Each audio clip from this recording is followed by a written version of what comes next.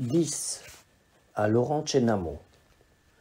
Sortir mon cahier du noir, l'ouvrir, l'offrir au jet du plein jour, l'appel doux de ses carreaux, si doux qu'il me parvient à grand-peine, ce doux appel des carreaux, autant de vitres qui me regardent et qui semblent vouloir dire Allez, quelques mots, n'importe quoi.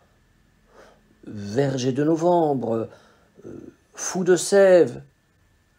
Tu vois bien que tu peux, continue.